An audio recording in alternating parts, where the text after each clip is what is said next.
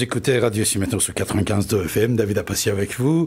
Euh, voilà, ça y est, il est 1er euh, mai. J'avais euh, demandé de monsieur Serge Maître et une heure seulement, mais il est tellement gentil qu'il a, il a accepté encore de rester quelques minutes avec nous, puisque vous êtes très très nombreux d'envoyer vos questions, de téléphoner, euh, surtout sur les banques, c'est, c'est, c'est, le problème assez important euh, qui existe dans notre société. Et tout ce que Serge Maître, il a fait depuis des années pour nous, vraiment, on va le remercier, euh, l'admirer. Et permettez-moi tout de suite de prendre Monsieur Maître Farid avec nous. Farid, il est avec nous. Farid, bonjour. Oui, bonjour Monsieur Abbassi, bonjour Monsieur Serge Maître. Bonjour à vous.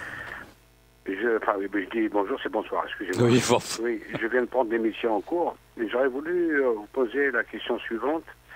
Est-ce que les conseillers financiers dans les banques euh, sont des gens intéressés à un rendement c'est-à-dire que par rapport à la multiplicité des, opérations qui peuvent nous vendre, c'est-à-dire des, produits bancaires, est-ce que vous croyez qu'ils sont objectifs ou est-ce qu'ils ont plutôt euh, un intérêt à vous vendre plus? Une assurance, une mutuelle ou autre chose, tout simplement parce qu'ils ont plus de, marge euh, Est-ce qu'ils sont, en fin de compte, c'est des commerciaux purs et simples, sans aucune... Objectivité vis-à-vis du client. Quoi. Oui, on, a, euh, on se dit, est-ce qu'ils sont intéressés finalement à nous forcer la main oui, bah, voilà, tout simplement. Voilà, moi j'ai voulu prendre des détours, mais en fait c'est ça quoi. tout à fait, j'ai compris. Alors, bah, disons qu'à une époque, c'était euh, tout à fait réel. Euh, aujourd'hui, c'est un peu plus euh, complexe. En fait, euh, comment ça se fait qu'ils se prennent à vendre du PERP, du plan d'épargne retraite populaire, par exemple, tiens, et puis ou tel autre produit qui, prend des noms souvent fort imaginaires dans les produits bancaires. Donc, comment ça se fait? Bon, il est évident qu'il n'y a plus de prime à bord, puisque les autorités de contrôle ont mis un holà d'intérêt. Moi, j'entends mal, je ne sais pas pourquoi. Ah, ils n'ont plus euh, d'intérêt financier à vous vendre euh, directement, un intérêt direct. Au rebours, le PNB, le produit net bancaire de l'agence, est calculé sur euh, bah, la réussite, hein, disons le profit que dégage l'agence.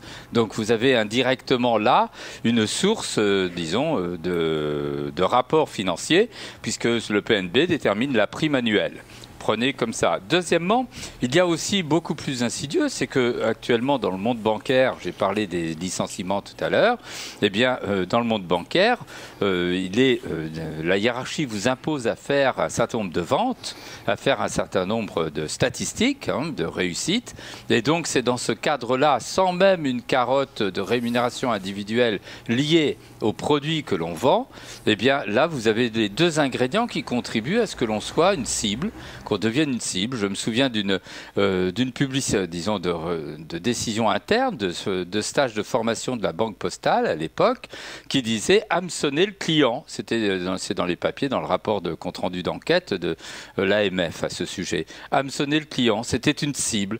Eh bien, vous êtes, on est une cible. Et c'est là où quand même la loi est intervenue, hein, Farid. Il faut, on peut être pessimiste, mais quand même la loi est intervenue. Et vous savez, je suis juriste, donc je me réfère à la loi. Pour vendre un produit financier, aujourd'hui, la banque doit vous soumettre un questionnaire. Un questionnaire qui doit déterminer quels sont vos objectifs, vos moyens, vos besoins, euh, votre sensibilité au risque ou pas de risque.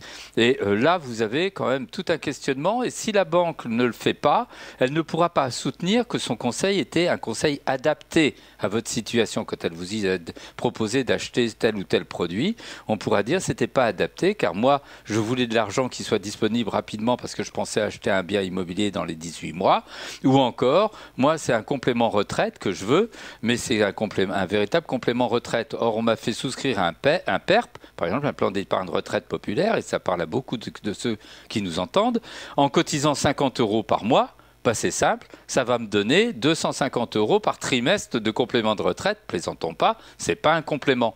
Donc voilà un certain nombre de circonstances, si vous voulez, mais je peux vous dire, les employés sont sauf s'il y avait quelqu'un qui nous apporte la preuve contraire, mais les autorités de contrôle ont fait que les employés ne sont plus aujourd'hui rémunérés à la vente euh, du produit.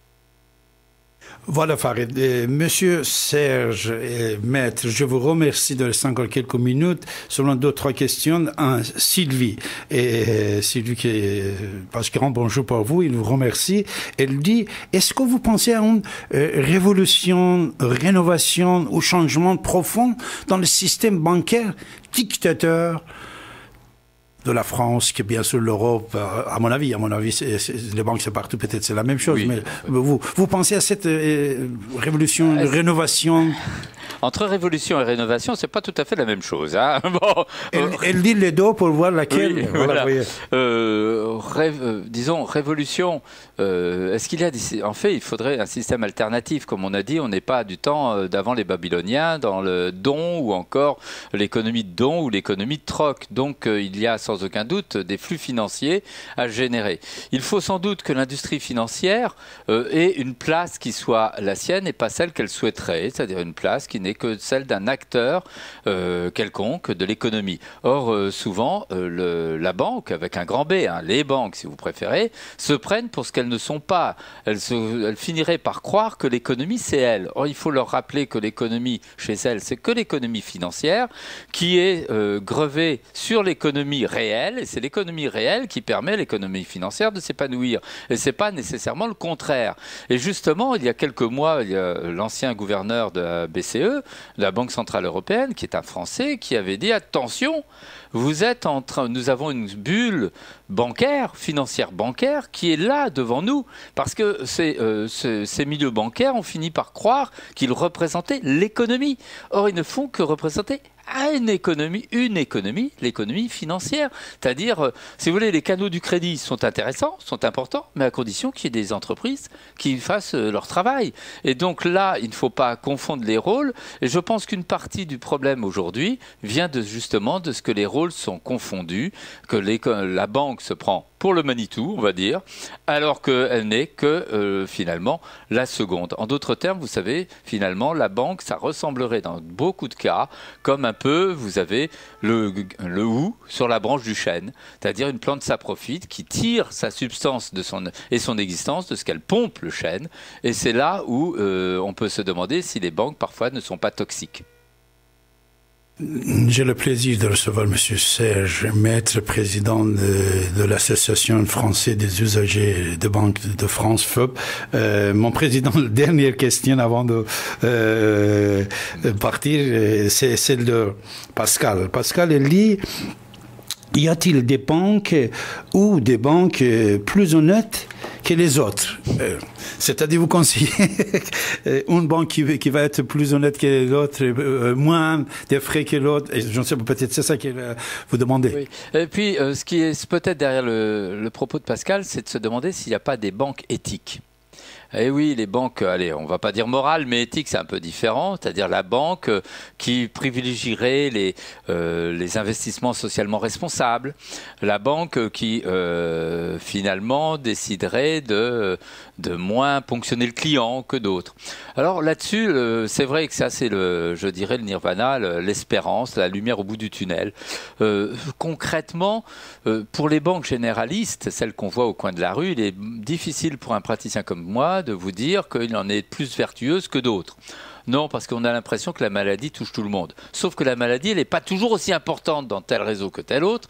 Mais je me souviens du crédit mutuel, qui est pourtant mutualiste, où les clients ne sont pas des clients, mais ce sont des sociétaires.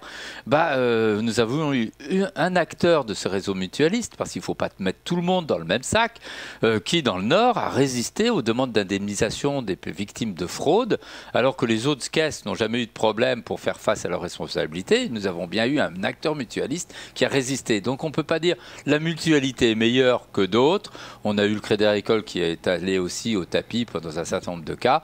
Donc voilà. Alors maintenant, est-ce qu'il existe des établissements qui seraient socialement responsables? Il en a certains qui se le veulent euh, socialement responsables. Et notamment, ils, ils disons, ils font toute leur communication sur l'épargne. Ils drainent votre épargne et disent on va l'utiliser soit euh, au niveau régional, soit en toute façon en étant très euh, sélectif quant à l'usage qu'on va faire de votre argent.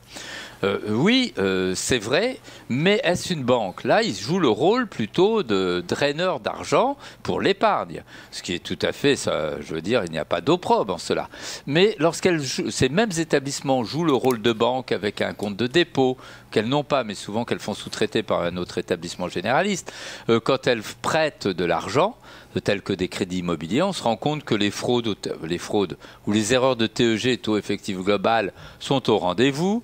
On se rend compte que la tarification bah, elle ne se, départit pas de celle des autres. Et je peux vous le dire, on s'en rend compte d'autant plus qu'à la FUB, on ramasse les, bah, les plaintes. Donc, résultat, pour Pascal, je dirais non, nous n'avons pas la panacée, nous n'avons pas un parangon de vertu, c'est-à-dire un modèle de vertu bancaire qui existe véritablement. Je dirais qu'il ne faut pas se leurrer, ça n'existera pas. Ce qu'on veut, c'est un partenaire commercial, un commerçant, qui euh, respecte la loi, déjà, ce qui n'est pas le cas allez, je renvoie aux arrêts de la Cour de cassation, mais non seulement qui respecte la loi, mais qui euh, répond à nos besoins.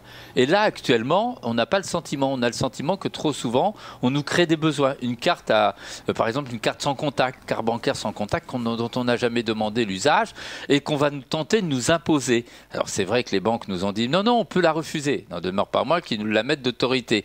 De la même manière, nous avons aussi des, euh, des réserves de crédit à côté de notre carte bancaire qu'on n'a jamais demandé la réserve de crédit. Et on se retrouve tout d'un coup dans un crédit renouvelable, ce qu'on appelait les crédits revolving. C'est cette banque qui doit cesser. Elle doit répondre à nos besoins, mais pas les anticiper en nous forçant la main. Monsieur le Président, je vous remercie beaucoup. Euh, je vais respecter mes engagements de une heure. Euh, merci pour 20 euh, minutes de plus. Parce que vous, êtes fatigué, vous venez de voyage. je vous remercie beaucoup. Mais, mes chers amis, David Abbassi va rester avec vous. Mais permettez-moi de saluer et dire au revoir à notre ami président Serge Maître et moi, je veux vous remercier de cette invitation, car ici et maintenant, il y avait une grande part dans ma mémoire, euh, notamment sur les radios qu'on en appelait autrefois libres, et euh, bon, qui aujourd'hui sont banalisées dans le paysage du PAF, euh, du, paysage audiovisuel. Mais je vous devais vous dire que c'est un grand honneur d'avoir pu être invité et m'exprimer ainsi sur ici maintenant, qui pour moi défend des valeurs qui sont très très proches des valeurs morales pour lesquelles je suis engagé dans ces débats. Bravo, Monsieur le Président. Je vous remercie beaucoup. Je vous dis à très très bientôt, mon cher monsieur euh, Serge. Merci.